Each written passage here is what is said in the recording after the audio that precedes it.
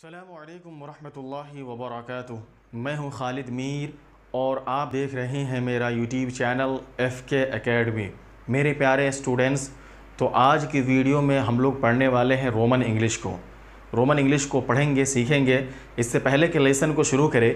मेरी आपसे एक छोटी सी दरख्वास्त है कि अगर आप मुझे यूट्यूब से देख रहे हैं तो आप मेरे चैनल को सब्सक्राइब लाइक एंड कमेंट्स करें।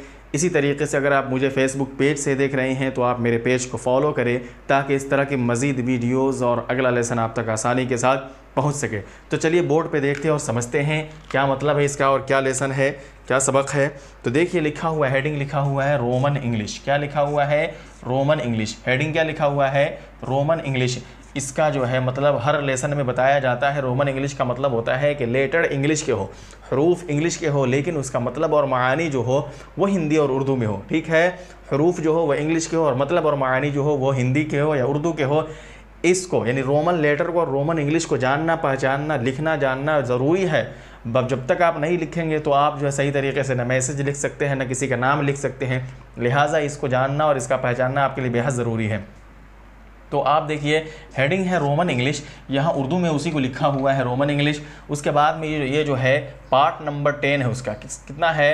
पार्ट नंबर टेन है उसका। पार्ट नंबर टेन यानी कि हिस्सा नंबर दस है। हिस्सा नंबर दस है। इससे पहले इसके नौ हिस्से गुजर चुके हैं। जो लोग नए जुड़े हैं, उनसे दरख्वास्त है कि इस लेसन को देखने के बाद आप मेरी वीडियो के प्ले लिस्ट में जाएँ और जाकर वहाँ जो है रोमन इंग्लिश के नाम से एक फ़ाइल बनी हुई है। आप वहाँ जा के पिछले इसबाब को देख सकते हैं और बहुत सारी चीज़ें सीख सकते हैं। इससे पहले मुफरदात की सारी बहस गुजर चुकी है। कुछ लेसन से जो है मरकबात की बहस चल रही है।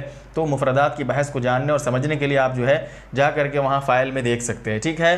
तो देखिए, यहाँ जो है तस्करा हो रहा है राशिद का। इससे पहले भी एक सबक गुजर चुका है इसका। ये एक मुकालमा चल रहा है। राशिद कह रहा है, खालिद से राशिद कह रहा है कि आजकल क्या कर रहे हो मेरे भाई? क्या कह रहा है? आजकल क्या कर रहे हो मेरे भाई? राशिद कह रहा है, आजकल क्या कर रहे हो मेरे भाई? ये कह रहा है। ठीक है?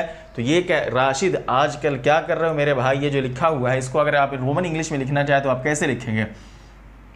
तो देखिए राशिद इस तरीके से लिखा जाएगा। R A S H I D Rashid. ये सब लेटर जो है, गुजर चुके हैं मुफरदात में। राशिद कैसे लिखेंगे? R A S H I D Rashid. और आज के आज कैसे लिखेंगे? रोमन लेटर में ए जे आज। ए जे आज। ए डबल ए जे भी लिखते हैं, लेकिन शॉर्ट में ए जे लिखते हैं। आज कैसे लिखेंगे? ए जे आज। कल के लिए क्या लिखेंगे? के ए एल कल। कैसे लिखेंगे? के ए एल कल। के ए एल कल। और उसके बाद में क्या? क्या आज कल कल कल के लिए बता दिया के एल क्या? क्या के लिए क्या लिखेंगे के वाई ए क्या? के वाई ए क्या? क्या लिखेंगे? के वाई ए क्या? एक होता है के आई वाई ए ये होता है किया। किया मतलब है कि मैंने क्या है? मैंने क्या है?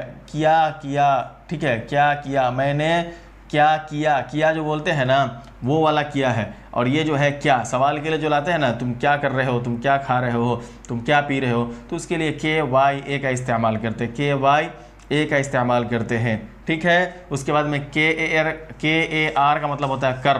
क्या? कर के ए आर कर। के ए आर कर। रहे रहे के लिए कैसे लिखेंगे? आर ए एच ई रहे। आर ए एच ई रहे। हो एच ओ हो। एच ओ हो। एच ओ हो, ठीक है? और मेरे के लिए एम ई आर ई मेरे एम ई आर ई मेरे। भाई कैसे लिखेंगे? बी एच ए आई भाई बी एच ए आई भाई बी एच ए आई भाई। तो समझ में आ गया राशिद कैसे लिखेंगे? R A S H I D Rashid. आज लिखेंगे ए जे से। आज के ए एल कल के वाई ए क्या? के ए आर कर और आर ए एच ई रहे एच ओ हो एम ई आर ई मेरे बी एच ए आई भाई, ठीक है? आजकल क्या कर रहे हो मेरे भाई? ये पूरा लिखा हुआ है, आप इसको सही तरीके से समझ सकते हैं, ठीक है? उसके बाद दूसरा सेंटेंस है, खालिद कह रहा है, खालिद कह रहा है, कुछ नहीं, बस अपने घर पर रहता हूँ, कुछ नहीं, बस अपने घर पर रहता हूँ। इसको लिखना हो तो कैसे लिखेंगे? तो देखिए, खालिद कैसे लिखा जाएगा? यहाँ लिखा हुआ है। खालिद कैसे लिखा जाएगा? यहाँ लिखा हुआ है K H A L I D Khalid. K H A L I D Khalid. कुछ कै कुछ को कैसे लिखेंगे रोमन में? K U C double H K U C double H कुछ। K U C double H कुछ, ठीक है? नहीं के लिए कैसे लिखेंगे? रोमन में एन ए एच आई नहीं एन ए एच आई नहीं। उसके बाद में है बस। बस कैसे लिखेंगे? बी ए एस बस। बी ए एस बस।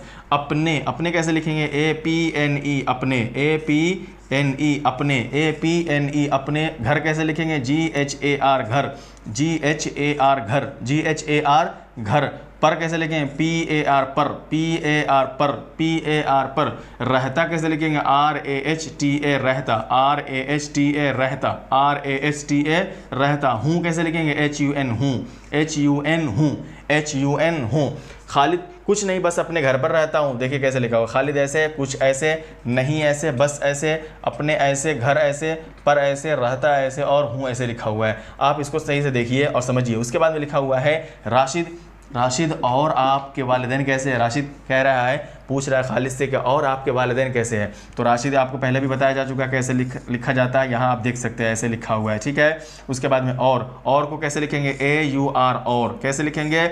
ए यू आर और। ए यू आर और। आपके कैसे लिखेंगे? ए पी के ई आपके। ए पी के ई आपके। ए पी के ई आपके। वालिदैन कैसे लिखेंगे? W A L I D A I N वालिदैन। W A L I D A I N वालिदैन। W A L I D A I N वालिदैन। कैसे कैसे लिखेंगे? के ए आई एस ई कैसे? के ए आई एस ई कैसे? हैं कैसे लिखा जाएगा? एच ए आई एन हैं। एच ए आई एन हैं। आप राशिद आपके वालदेन कैसे हैं? ये समझ में आ गया? उसके बाद में अगला सेंटेंस है, खालिद कह रहा है, जी, वो भी ठीक है, जी, वो भी ठीक है। इसको अगर आपको रोमन में लिखना हो तो कैसे लिखेंगे? देखिए, खालिद ऐसे लिखा हुआ है, कैसे लिखा हुआ है? खालिद ऐसे लिखा हुआ है, जी कैसे लिखेंगे? जे आई जी। कैसे लिखेंगे? जे आई जी जी। वो कैसे लिखेंगे? डब्ल्यू ओ एच वो। कैसे लिखेंगे? डब्ल्यू ओ एच वो। भी कैसे लिखेंगे? बी एच आई भी। बी एच आई भी। कैसे लिखेंगे? बी एच आई भी। उसके बाद में ठीक कैसे लिखेंगे? टी एच डबल ई के ठीक। टी एच डबल ई के ठीक। हैं कैसे लिखेंगे? एच ए आई एन हैं। एच ए आई एन हैं। वो भी, खालिद, जी, वो भी ठीक है। उसके बाद में अगला सेंटेंस है, राशिद कह रहा है, आजकल स्कूल जाते हो, पूछ रहा है, आजकल स्कूल जाते हो, राशिद। राशिद कैसे लिखेंगे? R A S H I D Rashid, ठीक है। उसके बाद में आज कैसे लिखेंगे? ए जी आज। ए जी आज के ए एल कल। के ए एल कल। स्कूल कैसे लिखेंगे? S C H double O L school. S C H double O L school. उसके बाद में जाते जाते कैसे लिखेंगे? जे ए टी ई जाते। जे ए टी ई जाते। हो कैसे लिखेंगे? एच ओ हो एच ओ हो एच ओ हो राशिद आजकल स्कूल जाते हो।